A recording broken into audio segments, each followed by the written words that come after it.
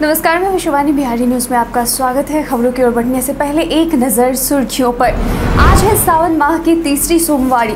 सरकार की विशेष पहल, लड़कियाँ कर सकेंगी यहाँ मुफ़्त पढ़ाई।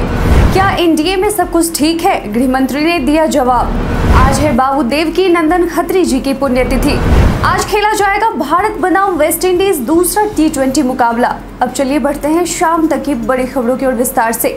आज है बाबू देवकी नंदन खत्री जी की पुण्यतिथि। आज देवकी नंदन खत्री जी की पुण्यतिथि है। आपको बता दें कि देवकी नंदन खत्री जी का जन्म 18 जून 1861 को बिहार के मुजफ्फरपुर ज़िले के पूसा में हुआ था और निधन 1 अगस्त 1913 को हुई थी।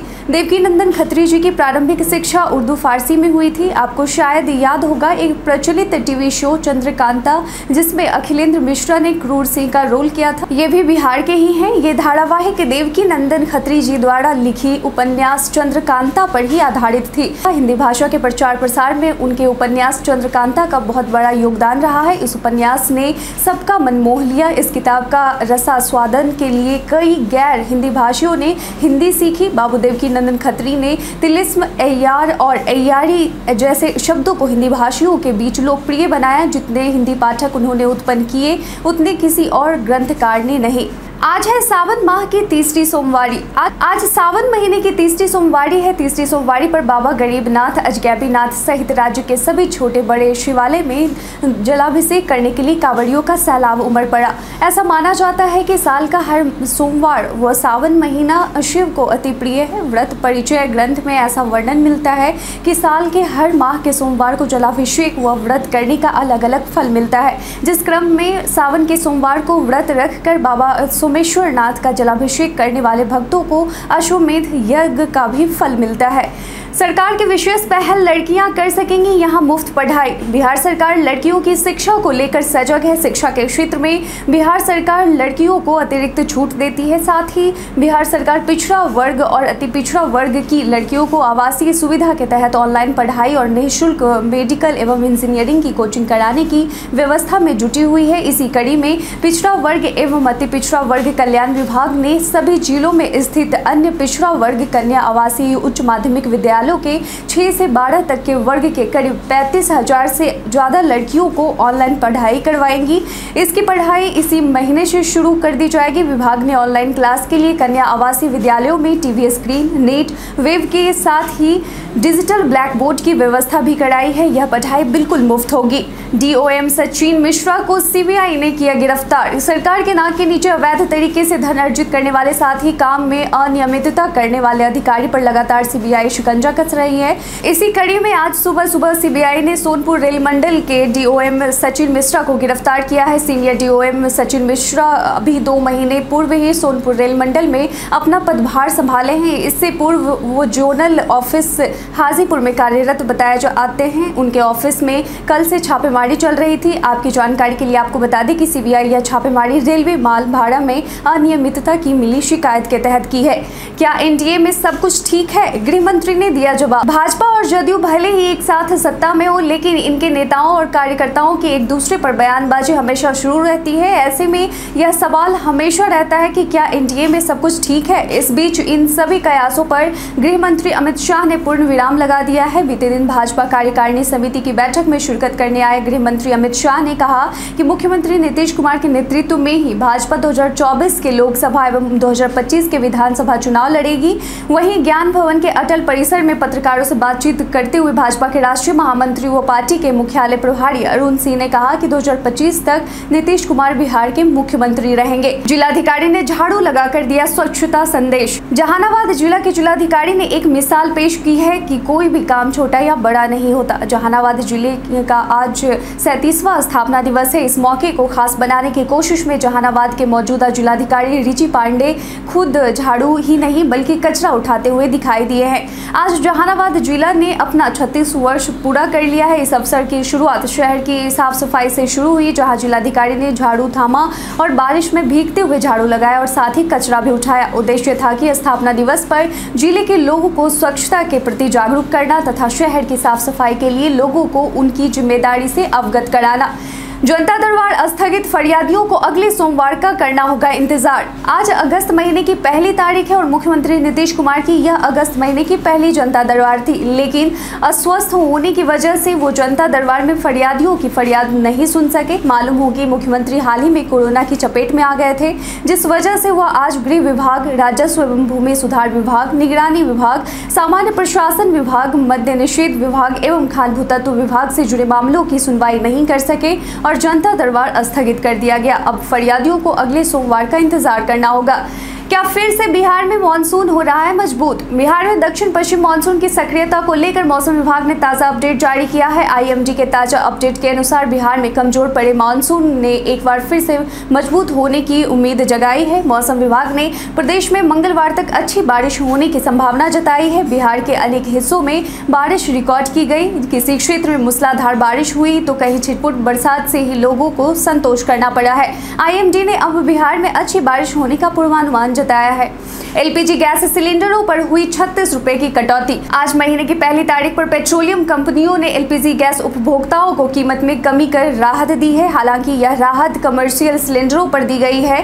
घरेलू गैस के दाम में कोई बदलाव नहीं किया गया है। आपको बता दें कि आज से एलपीजी कमर्शियल सिलेंडरों की कीमतों में छत्तीस रुपए की कमी की गई है। इस कमी के बाद उन्नीस किलो वाले कमर्शियल एलपीजी सिलेंडर की कीमत एक हज़ार प्रति सिलेंडर हो गई है।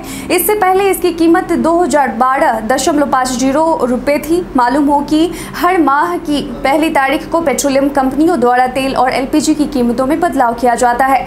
सहनी ने अपने कार्यकर्ताओं को दिया टिप्स। लालू नीतीश के स्टाइल में करना होगा काम। वीआईपी सुप्रीमो मुकेश सहनी फ़िलहाल ज़िले ज़िले में घूमकर कार्यकर्ताओं और जनता से मुलाकात कर पार्टी को मज़बूत करने की कोशिश कर रहे हैं। मालूम हो कि हाल ही में वीआईपी के तीन नेता भाजपा में शामिल हो गए थे, जिसके बाद मुकेश सहनी अकेले पड़ गए हैं। इस बीच बिहार में अपनी पकड़ को मज़बूत करने में जुटे सहनी अपने कार्यकर्ताओं को टिप्स दे रहे हैं। इसी कड़ी में मुकेश सहनी ने कार्यकर्ताओं से कहा कि बिहार में अपनी पकड़ मज़बूत कर राज्य का नेतृत्व करने के लिए लालू, नीतीश और बीजेपी के स्टाइल में काम करना होगा। उन्होंने इस दौरान ये भी कहा कि मंत्री पद से हटाने के लिए बीजेपी ने बड़ा चलाकी से काम किया है।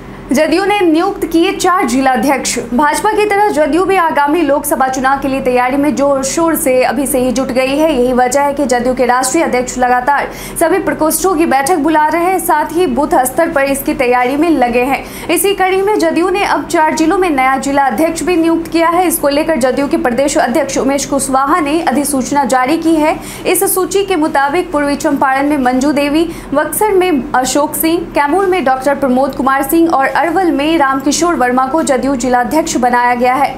2024 में भी नरेंद्र मोदी होंगे पीएम उम्मीदवार। भाजपा की दो दिवसीय राष्ट्रीय कार्यकारिणी की बैठक संपन्न हो गई है, जो कि 30 और 31 जुलाई को बिहार की राजधानी पटना में आयोजित की गई थी।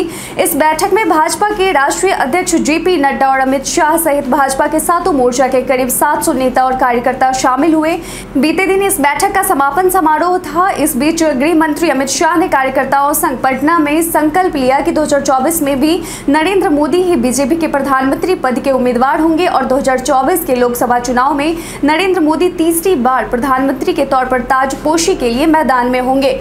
इंटर हाई स्कूल के 11 टॉपर्स और एक सौ पंचानवे नियोजित शिक्षकों को किया गया सम्मानित। बिहार में मैट्रिक और इंटर के तीनों संकाय में प्रथम स्थान पाने वाले 11 टॉपर्स और एक सौ पंचानवे नियोजित शिक्षकों को बिहार माध्यमिक शिक्षक संघ द्वारा सम्मानित किया गया। आपकी जानकारी के लिए आपको बता दें कि महासचिव शत्रुघ्न प्रसाद सिंह ने बताया था कि पहली बार 350 नियोजित शिक्षक डायट में व्याख्याता के पद पर नियुक्त किए गए हैं। इनमें एक नियोजित शिक्षकों को सम्मानित किया जाएगा। इसके अलावा वैसे शिक्षकों की चौदह संतानों को सम्मानित किया गया है जो आईएएस, आईपीएस, इंजीनियर और मेडिकल में चयनित हुए हैं। सुबह दस बजे से एक बजे तक कोसी पूर्णिया छपड़ा मुंगेर और भागलपुर से आए लोग सम्मानित हुए।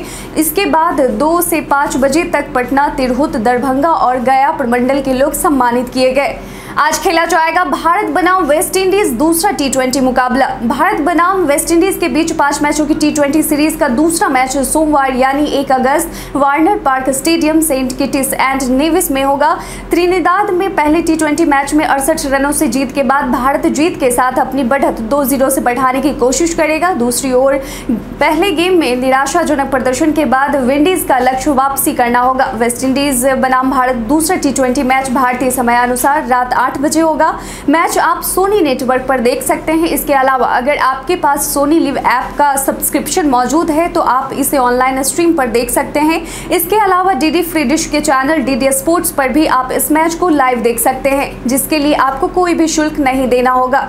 देश भर में कोरोना संक्रमण की दर में आई मामूली कमी। केंद्रीय स्वास्थ्य मंत्रालय द्वारा आज यानी सोमवार को जारी किए गए कोरोना रिपोर्ट के अनुसार पिछले 24 घंटे में कोविड 19 के सोलह नए मामले सामने आए हैं। इसके साथ ही भारत की रिकवरी रेट अंठानवे प्रतिशत है। पिछले चौबीस घंटे में कोरोना से जान गंवाने वालों की संख्या चौबीस है। वहीं बिहार की बात करें तो यहाँ बीते दिन जारी किए गए पिछले चौबीस घंटों के आंकड़े के अनुसार कोरोना संक्रमण के मामले में मामूली कमी हुई है, जिसके बाद राज्य भर में कुल दो सौ नब्बे कोरोना के नए मरीज़ मिले हैं। वहीं राजधानी पटना की बात करें तो यहाँ सबसे अधिक एक सौ चौदह नए मामले सामने आए हैं। बीते दिन हमारे द्वारा पूछे गए सवाल का आप लोगों में से बहुत लोगों ने अपना जवाब हमें कमेंट सेक्शन में लिख कर दिया था। जिन्होंने पूछे गए सवाल का जवाब दिया है, उनके नाम है राजेश कुमार यादव, कमल चौधरी ब्रिज मोहन कुमार, बाबूलाल मरांडी, कुलदीप कुमार, परवेज आलम सत्येंद्र शाह, ईशु कुमार यादव, अशोक यादव भान प्रकाश मौर्य, छोटू कुमार और संजीत कुमार सुमर इसके साथ ही बढ़ते हैं आज के सवाल की ओर। आज का सवाल है कि वर्तमान परिस्थितियों को देखते हुए क्या एक बार फिर लोकसभा चुनाव दो हज़ार चौबीस में भी बीजेपी का डंका बजेगा? अपना जवाब में कॉमेंट सेक्शन में लिखकर ज़रूर बताएँ। आज के लिए बस इतना ही बिहार की तमाम खबर के साथ अपडेट रहने के लिए देखते रहें बिहारी न्यूज़ और चैनल को सब्सक्राइब करना और बेल आइकन दबाना ना भूलें। धन्यवाद।